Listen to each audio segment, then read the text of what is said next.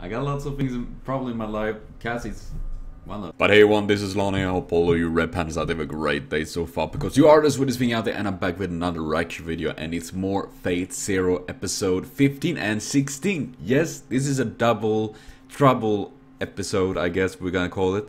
Actually, the main idea was to do three episodes. However, I felt I didn't really have the time or energy to do that and decided on two episodes, which was pretty much lots of things going on in that, seriously. And links to these videos are in the description box. And before I do talk about these episodes, there will be a short artist promotion as per usual. And this time it's a friend of mine called Rollercoaster that have done lots of growing and lots of amazing art over many years. And here comes a few arts of her.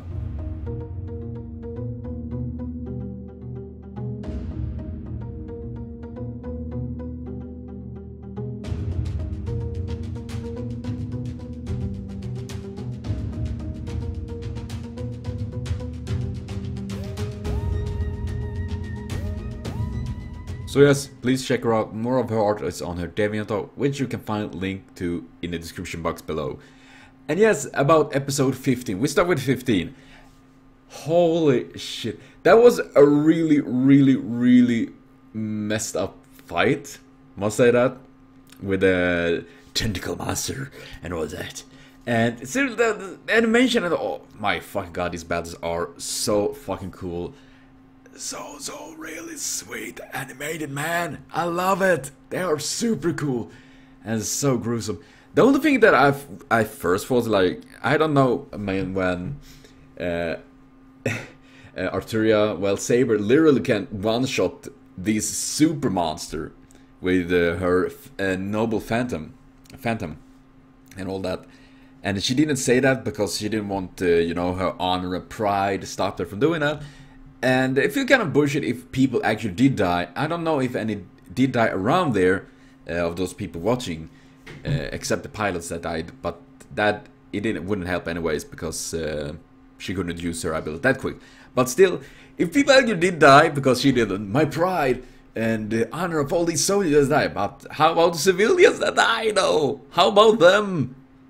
Now I assume no one did die, so I guess things are a bit more safe, so to speak. Otherwise, it would be kind of like she would or like a, yeah, we need to stop Bluebeard because she kill he kills lots of kids and civilians, things like that.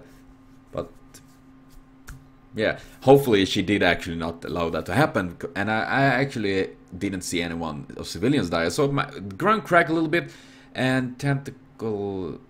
Did they die? I don't know. Otherwise, it was a super cool ability. Seriously, that was a freaking amazing. I love that. Seriously, did you...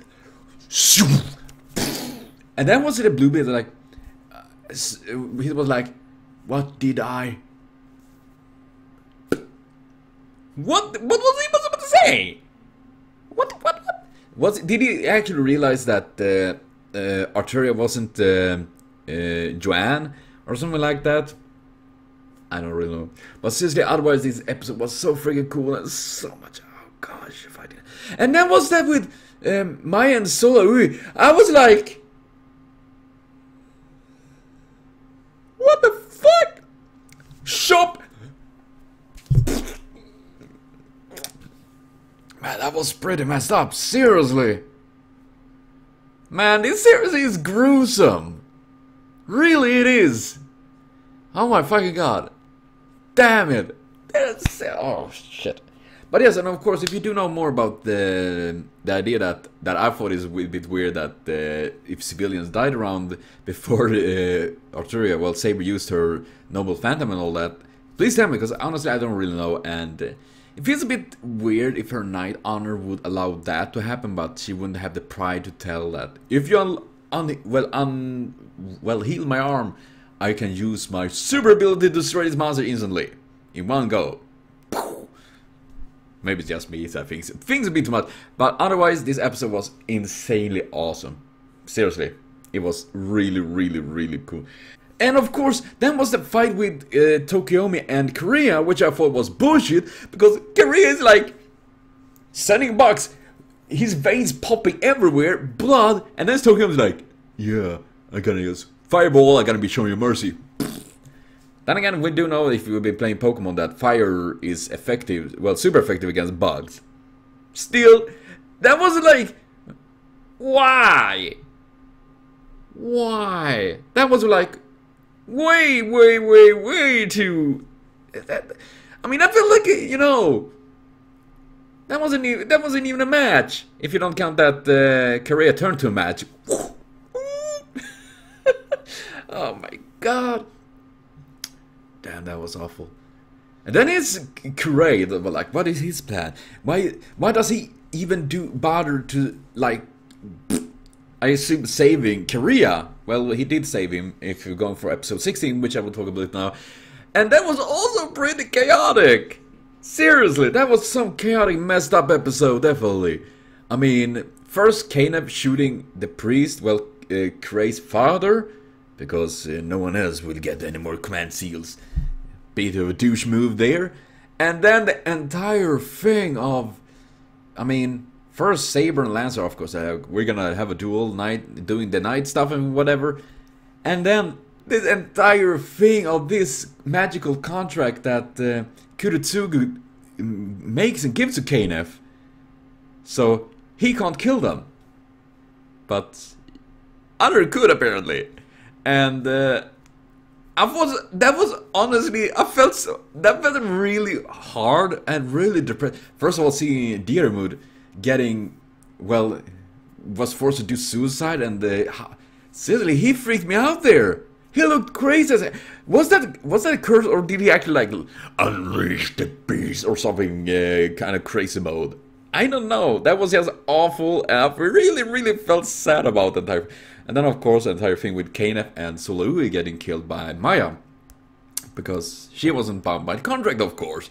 And, uh, oh man. In a way, I do. I mean, in a way, I mean, Kayneth and all that. I mean, seriously, he's he had been in a bit of an ass entire thing, but he actually gave up on the Holy Grail. Just, I don't know if it was to save his own life, but uh, at least he did it also to save uh, Solo's life. And then this bush is like shooting them, and I'm like, what? Seriously? Are you gonna do that? Seriously? That was. Man, I didn't expect that. That was awful. I mean, seriously, I'm gonna say right away. I didn't. When I first heard of Soul. Uh, well, Soul. I don't know. Soul. Soul Eaters? No. Where did I get Soul from? I don't know. But yes, uh, Fate Zero, when I first heard about it, I, I, didn't expect it to be this bloody, this gruesome. Definitely not. Far from it. I thought it was gonna be like, yeah, cool fights and all that, but uh, nothing's really like gruesome or bloody or mm, nasty. Those so far have been uh, proven quite wrong in many, many levels. Because that was very, very brutal. And then, of course, what is Kiritsugu's goal? I mean, Arturia seemed to be like talking that he wanted to be once upon a time wanted to be a hero and things like that, make things better, change the world for the better. And then his goal is. Uh, I'm really, really fucking curious about it. I mean, what is his goal? What is the intention of him wanting the Grail to change the world? And what happened with Iri in the end?